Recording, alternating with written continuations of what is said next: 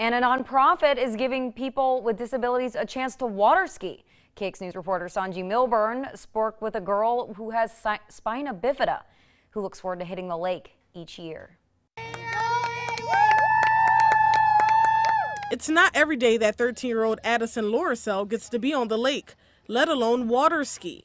I've never wished that, but I like being in a wheelchair because um, it's fun around to roll around.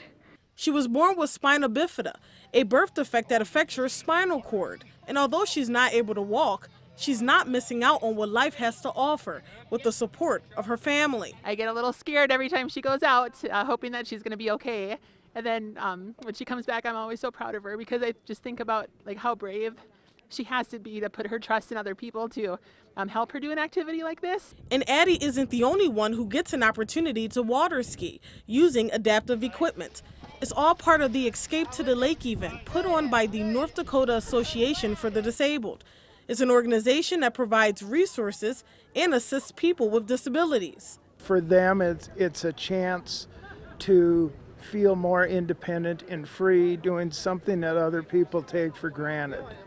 Uh, they deserve opportunities, and it doesn't have to be adaptive skiing. 40 people with all types of physical disabilities got a chance to water ski, not once, but two or three times.